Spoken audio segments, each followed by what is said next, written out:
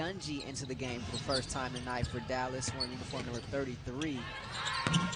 What's up, everybody? It's Coach JB. Today we are talking about Tyasha Ty Harris from the Dallas Wings. When she graduated from the University of South Carolina to enter into the WNBA draft, she was the first person to ever finish with 700 or more assists in her career. But before we get into it, don't forget to save this video and share it with a friend so they're learning as well. So when we broke down her numbers this week, we found that 40.5% of the time when she's scoring, it's out of a pick and roll scenario. And then we broke down the pick and rolls, and we saw that when the screen makes contact with the defender, 80% of the time, that's how she's scoring. And then when we go into her assist, same thing. When the screener actually makes contact with the defender, 60% of those are going to a kickback. Now, when misses come into play, we're looking at the switch 70% of the time that's when she's missing her shot. And as far as turnovers go, when they fight over, like really press up on her, or if they switch, she's turning the ball over. So let's take a look at the misses and turnovers first. Let's get the ugly stuff out of the way.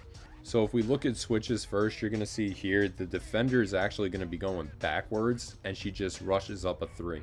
In the second clip, same thing, switch, and it's a rush mid-range. All right. And now here she gets a good switch. She's got her isolated and she just puts up a step back three. Not what we want on an isolation. Now, when she has the defenders fight over, she really starts to speed up and rush things, and bad things happen. But if you notice, when this happens, she's never setting her defender up. She's just kind of running right to the screen. And you'll see it again here. Just ran right past the screen, never tried to set them up. Look at it one more time. No setup, just run by, and turn the ball over. So let's look at a way that we can fix this. We're going to look inside of our Player Transformation Academy at a drill that will really help correct this issue.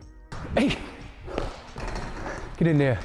All right, now with this segment, we're going to show refusal. So I still have my ball screen action here. And I just want you all to start here playing off the screen and you're gonna fake as if you're gonna refuse the screen and quickly change direction and then come back off the screen. So the first few reps, we're gonna show refusal, come back off and we're gonna split the action here. When you split the screen, keep the ball in the inside hand and I want two dribbles. So as soon as I come off, I want two, one, two, tap dribbles. And as that ball comes up, you're gonna get into floaters with this. So again, start in the wing area, show refusal, and then quickly come right back off.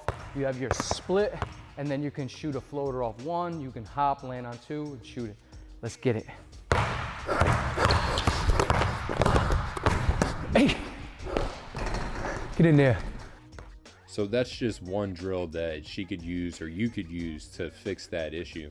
And we're actually going to see her use it later on in a couple of clips as well. But looking at her scoring, when she does create contact with that screen, she's getting buckets. I mean, you look at it here, there's contact on two screens, drags that big out, knocks down the jumper. And again, here, creates contact with the screen, knockdown jumper. And one last time, contact, knockdown jumper. Now her assists show the same exact thing. When she creates contact with the screen, she's patient and then she's able to find her teammate so their teammate can get a bucket. Same exact thing here. Again, patience makes that contact and then she's able to find her teammate, easy basket at the rim. Again, in this clip, she's patient and extra patient, waiting for the roll, finds the roll person, and now the roll person's able to be isolated and get a basket.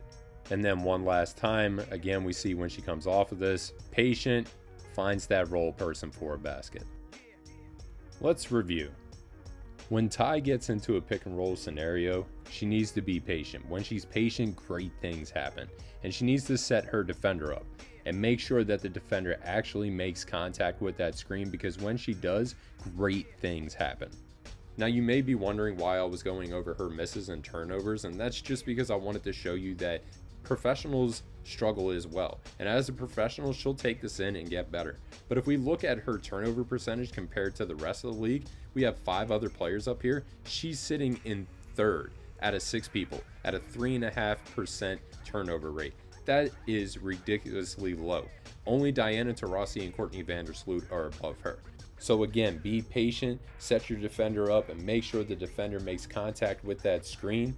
Use that drill that Coach DJ Sackmann had on this video, and make sure you get into one of our academies so this way you can transform your game.